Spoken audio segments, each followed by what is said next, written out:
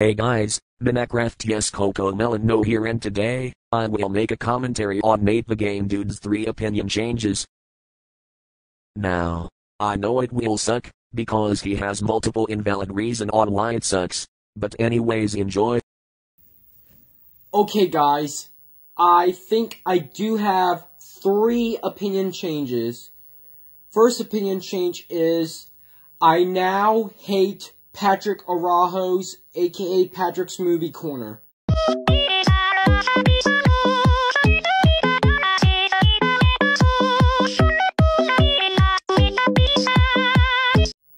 Do you want to know why? It's because he has called me an idiot and an immature, and he also kept calling me different cuss words.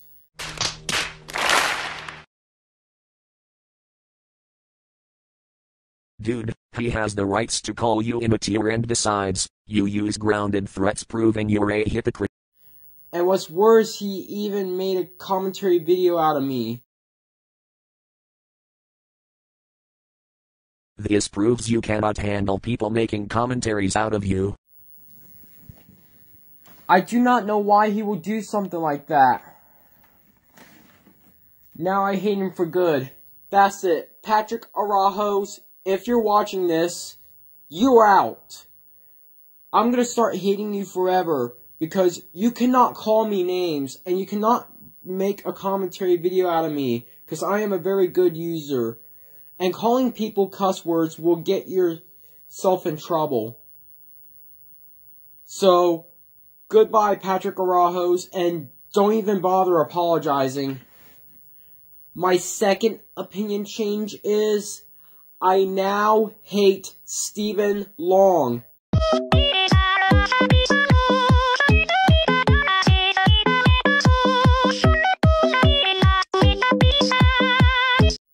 Do you want to know why I hate Stephen Long? It is because he also made a commentary video out of me. Like I said before, this proves you cannot handle people making commentaries out of you. And he also forced me to get the 1991 French Canadian VHS of Fantasia.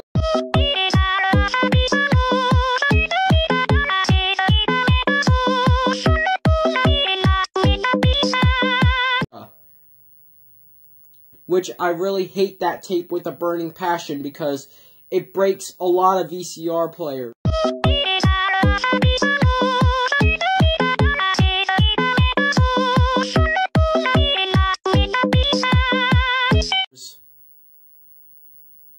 Now I hate Stephen Long for good. So Stephen Long, if you're watching this, you're out.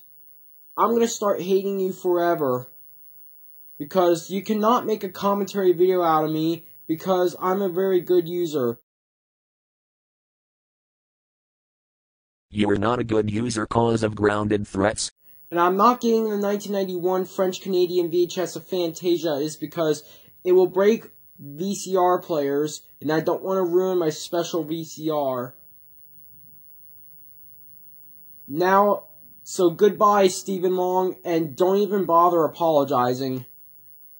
My third and final opinion change is I now hate Nick's videos.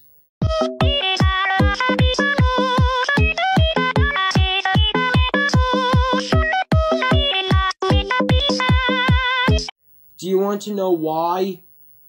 It is because a few weeks ago, Nick just told an innocent an innocent kid to go shirtless which is very inappropriate. Now I hate him for good, and thank God he got terminated. That video really sucked, and he's a hypocrite for doing grounded threats. And that's all for the commentary. If you have any questions, leave it in the description. But anyways, see you later peeps.